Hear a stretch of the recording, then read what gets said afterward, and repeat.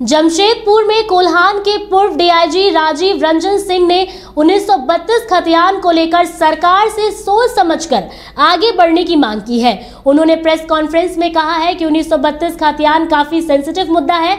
झारखंड के जंगलों में पंद्रह हज़ार से अधिक गाँव है जो राजस्व गाँव नहीं है। इंट्रा सेटलमेंट सर्वे नहीं हुआ है। उन्होंने कहा है कि उन्नीस सौ सैंतालीस से पहले झारखंड के जंगलों में काफ़ी लोग रहते थे। उन्नीस सौ बावन में फॉरेस्ट रेगुलेशन एक्ट बना है, उसके बाद सर्वे हुआ, लेकिन जंगल में रहने वालों का सर्वे नहीं हुआ। इसलिए वर्ष 2006 में झारखंड सरकार ने वन पट्टा अधिनियम बनाया है। लोगों को हटाना शुरू किया। इसके बावजूद अभी भी जंगलों में रहने वाले लोग के पास खतियान नहीं है।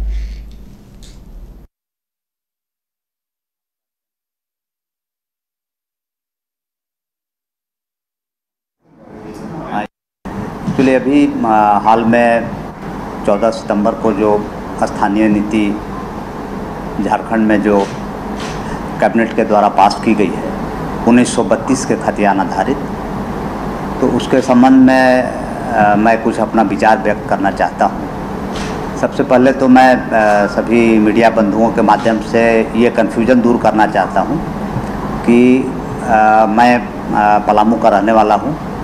और मैं स्वयं 1932 का खतियानधारी हूँ।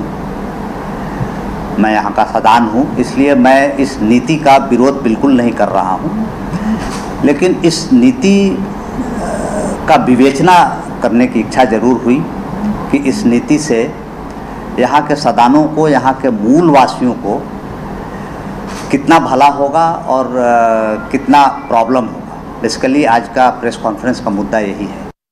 एक्चुअली अभी हाल में। वेलकम टू चाचा मामा दंगल हास्य अदाकार संजय मिश्रा से गुजारिश है कि वह अखाड़े में कूदे और फुलटूस को ट्रॉफी से नवाजे। लगता है समाधि ले ली।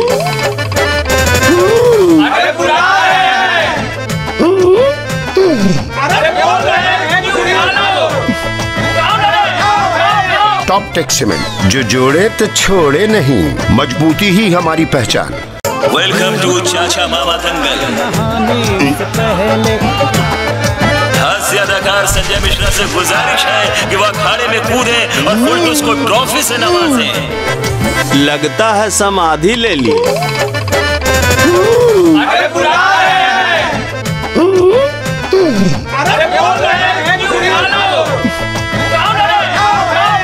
टॉप टेक सीमेंट जो जोड़े तो छोड़े नहीं। मजबूती ही हमारी पहचान।